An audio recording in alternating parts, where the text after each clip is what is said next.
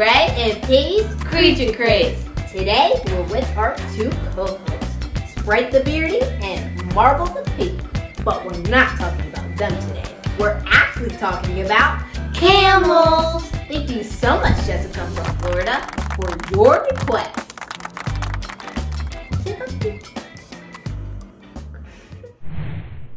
Let's talk habitat. Camels live in the Middle East and North Africa. And some camels even live in the US too. Domesticated camels sleep laying down, but wild camels sleep standing up so they can protect themselves from predators. Their main predators are a pack of wolves and humans them for food. That's a shame. Yeah.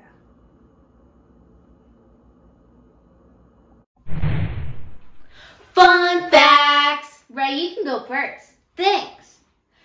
Two species of camel. The dromedary camel, which is a one-hump camel, and the Bactrian camel, which is a two-hump camel.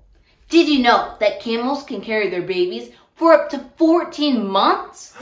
Did you know that when a camel gets really mad, it spits contents out of its stomach, which is vomit mixed with saliva, and then it shoots it out? Ew! Very gross. I know.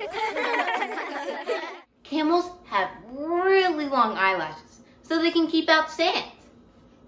Did you also know that camels can actually close their noses just in case of sandstorms? Wow. I know. Too bad we can't do that. It would really help on windy days. Yeah. Camels have especially designed hoofs so they can walk through the sand. So cool.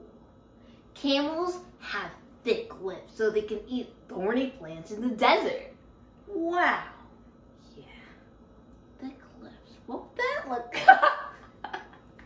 I think that's what it looks like.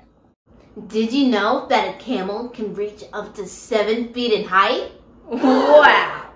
Did you also know that camels can carry up to 600 pounds? That's three times the weight that a horse can carry. Did you know that a camel can weigh around 1,500 pounds? wow, that's really heavy. Yeah. Did you also know that if a camel's super thirsty, it can drink 40 gallons at once? Whoa! Their water bill must be really high. Yeah. Wouldn't want to be them. I think a camel would make a great pet because you could ride it whenever you want. And your friends could ride it too because it can carry up to 600 pounds. Yeah, but the hump's probably not that comfortable. You could always throw a saddle on it. Yeah, but what if it wasn't tame? You could look in the books, on the internet. You could always look up, how do I tame a camel?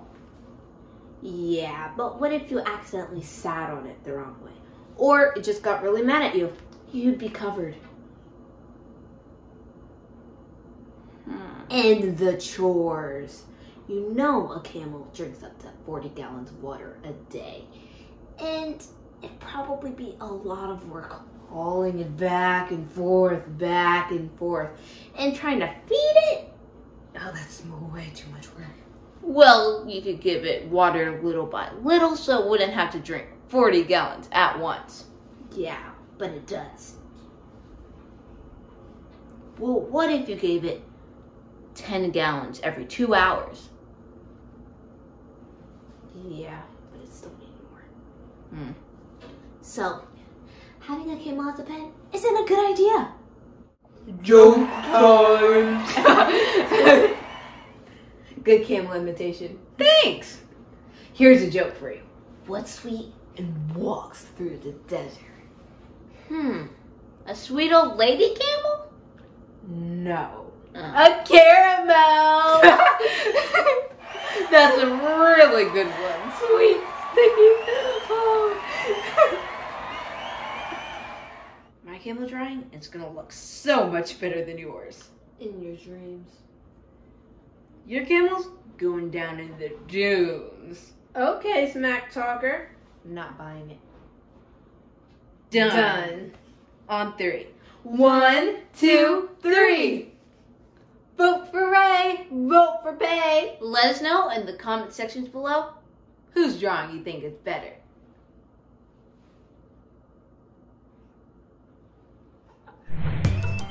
Thank you for watching Ray and Pay's Creature Craze. Please subscribe to our channel. Make sure to comment down below which creature you want to hear about next. Smash that like button and ring the bell. And we hope you enjoyed this episode on camels. Bye!